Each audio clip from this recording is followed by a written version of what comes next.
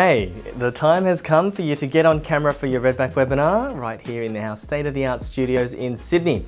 Now we do things a little differently here at Redback, so in this short video we'll explain how we run our webinars, what will be expected of you, and what you can expect from us on the day. Firstly, we are located at level 7, 68 to 70 Dixon Street Haymarket, which is right in the heart of Chinatown, and the closest stations are Town Hall and Central.